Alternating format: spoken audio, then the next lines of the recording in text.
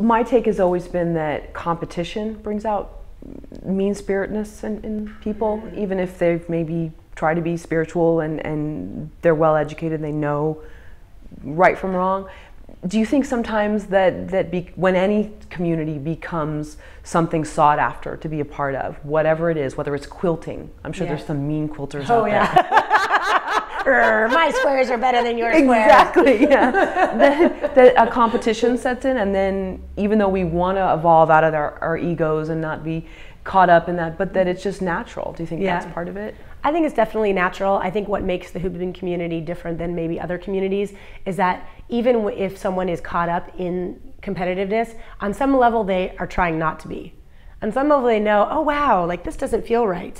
You know, where there's a lot of other communities where the competitiveness is just has it has free reign. It's like nobody's even trying to not be competitive or to be kind or no one's trying to be different. They just, you know, the the competitiveness and the mean spiritedness is part of it and it's just accepted where the hooping community that might arise but even in the very person that is sparking it you know you feel there's that internal struggle and eventually they will get over it and it'll be it'll you know like i said earlier it'll kind of smooth out so i think that's what makes it really different is there's an extra it seems to be an extra level of consciousness around it and, um, and a, a willingness to grow through that and to not be that way um, and there's also an extraordinary resiliency because people who are hoopers, they have to go through this whole process of coming out as a hooper.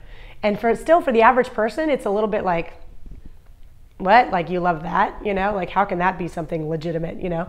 And so when you, ha- as a person, go through something where you love something so much that you know people are going to ridicule immediately and you have to stand in the face of that and move through that like that creates a strength of spirit that you know is is really beautiful and i think that's very that can be very sing- singular for the hoop community Anything to add? Because you've been in Hollywood and competition is is revered. I mean, Well, what I wanted to say is, and it, it's in response to what Anah said, I think is what I think the film is really about is finding something, and I, why I think a lot of people can relate to it. You know, you might not be interested in hooping, but you're interested in something, mm-hmm. and you may not have committed yourself to it, and it might be scary, and you might think people might not think it's the coolest thing in the world, and you're scared of making a living. And but I saw that the hoopers that committed to it, that gave this crazy thing their all, that it gave back to them.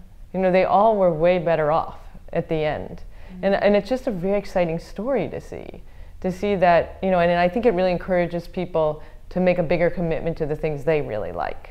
And it's Even very they're crazy. inspiring, even if they're crazy, because it's you know it's the crazy things that end up making our civilization more interesting. Mm-hmm. yeah hooping isn't boring that's for sure